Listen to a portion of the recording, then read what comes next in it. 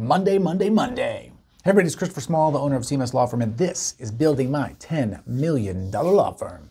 It is Monday, September 25, 2023, and yes, I'm actually in the suit today. Uh, Mondays are signing days, and uh, I actually had a signing. That was cool.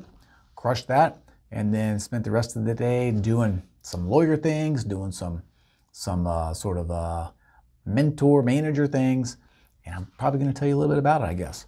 So, a couple things that I did uh, today. Like I said, I did a signing.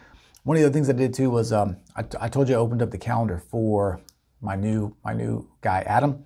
He had his first probate call today, and although we had to practice probate and kind of talked about probate, I wanted uh, he came in and we sat down and sort of for like about a half an hour went through a probate call, the things to expect. I reminded him of the things that you want to do when you're having a probate call, the, the two main questions that you want to answer, and then basically the four uh, different scenarios that can happen typically in a probate call.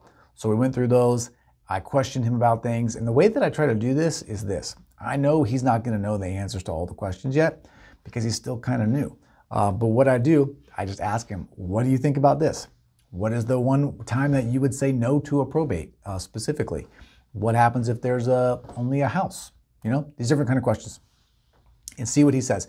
By making him think about it and by getting him to try to answer the question, he learns more. Okay? Then he did the probate. It's, I think the person's going to sign up, so that's pretty awesome. And uh, did that. One of the other things that I've been doing lately is um, I have been, I was looking for I was looking for something on YouTube, and I've been follow. I followed a couple of estate planning attorneys that I found that were talking about some sort of more high high level type of stuff. Very tricky, I think, to learn about doing uh, more high uh, net worth estate planning. I just haven't found a lot of great training out there. Uh, it's a lot of do it yourself. I feel like I'm not reading the not reading the code, but trying to find people that explain things of building out certain trusts and then just reading them, see what they say. Uh, but I found a couple of people that I really like in the way that they explain things and actually spent just a little bit of time um, working through some of those videos, just kind of watching them. Most of the time, what I'm really trying to do is is think to myself, I know the answers to these questions. I know what I would say if I was making this video. Are they saying the same thing? Thankfully, they have been. So uh, it still, though, is educational because there are little nuggets in there. There are little things that I don't think about. Um, there are little things that they've had experience with that I pick up on. So I've been doing a little bit of that.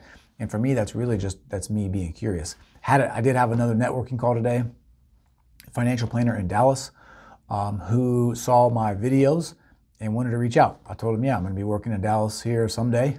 And, you know, if you have any Washington clients, send them to me, but I'll take your Texas clients too here pretty soon and and that was cool. Really nice guy, and um, you know I don't I don't always take those calls, but they are they're helpful, and I, I should take them more. Honestly, I just I don't like networking, like I said before.